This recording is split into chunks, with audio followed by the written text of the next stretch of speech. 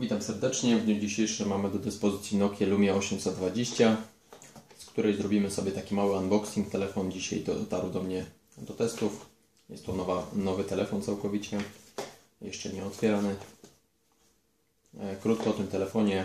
Pracuję na Windows Phone 8, aparat 8,7 megapiksela, rozmiar wyświetlacza 4,3 cala, rozdzielczość 800 na 480 e, radio FM, MP3, e, kamera przednia, kamera tylna. Jednym z najważniejszych, jedną z najważniejszych cech tego telefonu, jak i wszystkich telefonów Nokia, e, nawigacja GPS Nokii, czyli Here Maps, umożliwiająca wygrywanie sobie map z dowolnego kraju i użytkowanie tej nawigacji w trybie offline, czyli bez wykorzystania sieci komórkowej, czyli przeciwieństwo Google Maps. I oczywiście w pełni bezpłatnie. To jest duża zaleta tych telefonów. Telefon ten umożliwia ładowanie bezprzewodowe dzięki dodatkowej klapce. Takie sobie akcesorium. Wymieniamy klapkę tylną na, na klapkę specjalnie dodatkowo kupowaną. Czyli to jest Wireless Charging Shell ZC3041 oraz odpowiednia ładowarka, która umożliwia nam ładowanie tego telefonu bezprzewodowo, ale o tym w innym filmie. Tak więc może przystąpmy do otwarcia tego telefonu. Krótko jeszcze można powiedzieć, że telefon ten występuje w szerokiej gamie kolorystycznej tylnych paneli. Tak więc można sobie dobrać taki panel, taki kolor telefonu, jaki nam jest potrzebny. Otwórzmy sobie opakowanie, zobaczmy co tam w środku jest. pudełko, telefon. Bardzo zgrabny, przyjemny, jeżeli chodzi o trzymanie.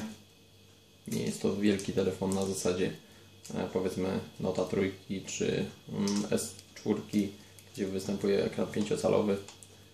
Więc jest to bardzo fajna konstrukcja. Wszystko zaokrąglone. Przyjemnie się trzyma. Przejdźmy dalej. Karta gwarancyjna podbita. Jakieś tam pudełeczka.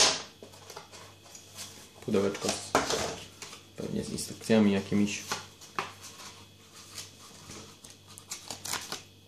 Nokia Lumia 820.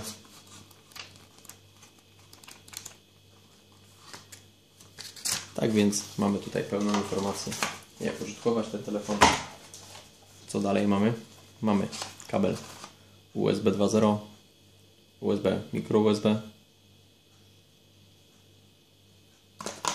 ładowarka USB. Zaraz Wam powiem jak jest prąd ładowania. 1,3 A przy 5 V. Skoro ta bateria wbudowana ma około 1600 Ah, mAh, to można powiedzieć tak z lekkim doszacowaniem, że mm, około 1,5 godziny zajmie nam ładowanie pełne akumulatora w telefonie. Słuchawki, zestaw słuchawkowy. Cały wypolerowany, bardzo ładnie wygląda. Gumki założone już są w zestawie. Dodatkowo w zestawie mamy jeszcze trzy komplety gumek różnych rozmiarów. Tak więc w sumie mamy cztery komplety. Czy coś niezwykłego w tym zestawie? Nie ma nic niezwykłego. Guzik sterowania połączeniami wyłącz, włącz jest. Mikrofon oczywiście standardowy, bardzo standardowy zestawik sławkowy. Czegoś więcej potrzebujemy, niczego. A więc myślę, że możemy już sobie opakować wszystkie elementy i przejść do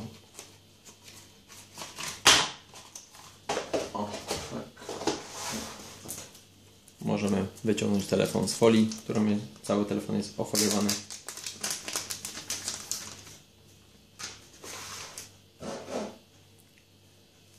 Telefon wygląda bardzo fajnie, bardzo zgrabnie. Ekran czarniutki, super. E, obudowa tylna jest cała zaokrąglona do samego końca. E, może słabo będzie widać, ponieważ czarny cały telefon nie widać tutaj kontrastu zbytnio, ale obudowa jest aż prawie do samego ekranu, tak jak tutaj widać, aż do samego ekranu Ona jest cała tylna, to jest cała tylna obudowa, czyli spróbujemy wyciągnąć teraz telefon z tej obudowy. Mam nadzieję, że mi się uda.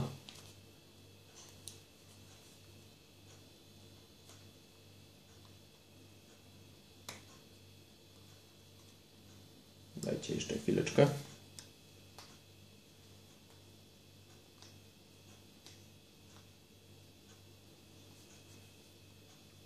O, tak. No, łatwiej wyciągać tylną obudowę, chwytając w górnej części, tu za szkiełko aparatu, a tu podważając paluchami.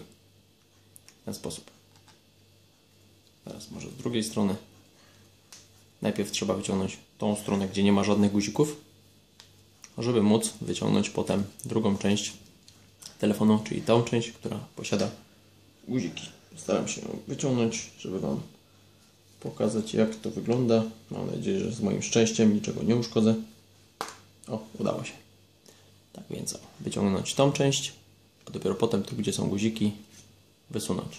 Tak wygląda standardowy panel, czyli bez możliwości ładowania.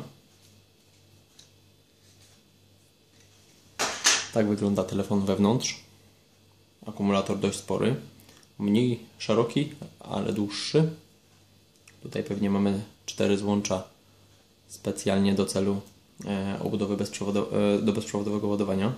Te dwa złącza są do anteny zapewne. Tak, antena jest tutaj w obudowie.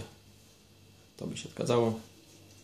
Czyli cały panel, jeżeli wymienimy sobie na inny kolor, to będziemy mieli prawie cały telefon w takim kolorze, jaki będziemy mieli panel. Tylko zostaje tutaj ekran z tymi guzikami dotykowymi w czarnym kolorze zawsze. Ok, czy coś jeszcze możemy? Wyciągnijmy może tą baterię.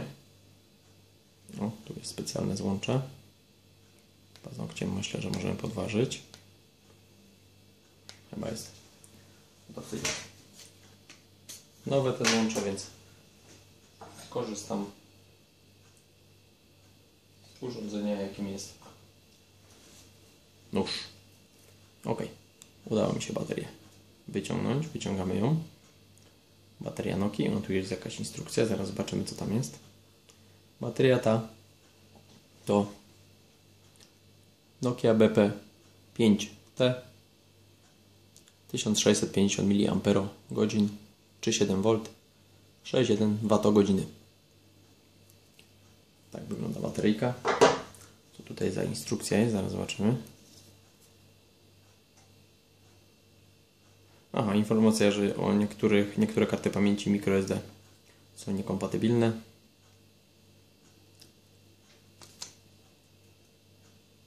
Tu jeszcze? W sumie nic.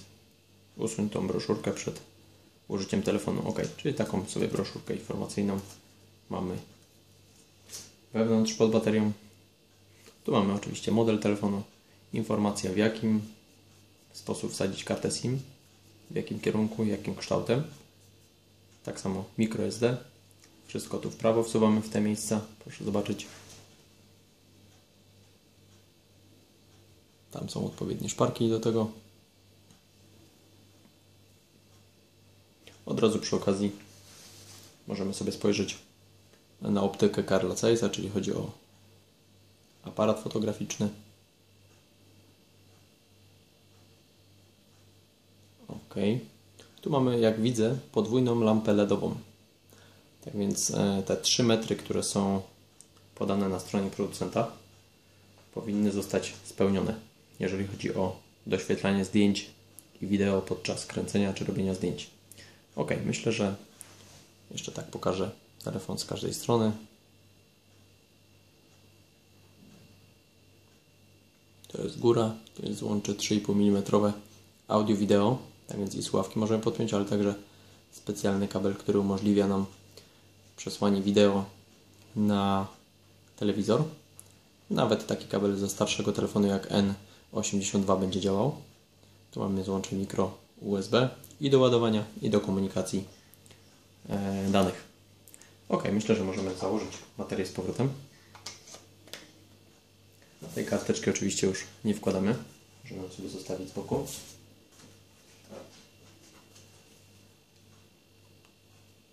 Zakładamy sobie obudowę. Najpierw oczywiście, tak jak mówiłem, guziki muszą najść tutaj na obudowę. O, i gdy dopiero guziki sobie tam najdą, o, w ten sposób, dopiero wtedy możemy docisnąć resztę obudowy, tak jak to teraz robię. Klik, klik. W ten sposób mamy idealne spasowanie. Sprawdźmy, czy coś nie trzeszczy, nie wkurza i tym podobne. Mogę Was zapewnić, że wszystko jest spasowane idealnie. Zero jakichś skrzypień, pisz, nic nie lata, wszystko jest ok, w porządku. Guziki od aparatu. Mamy osobny guzik aparatu, dużo zaleta, jeśli ktoś lubi robić zdjęcia. No i oczywiście ogromną zaletą jest to, że aparat tak samo jak w Samsungu jest obiektyw w środku. Dlaczego? Ponieważ gdy robimy zdjęcia, nie musimy tak jak na przykład w Sony Z1 trzymać palca w ten sposób, ponieważ mamy tutaj oko aparatu, czyli obiektyw.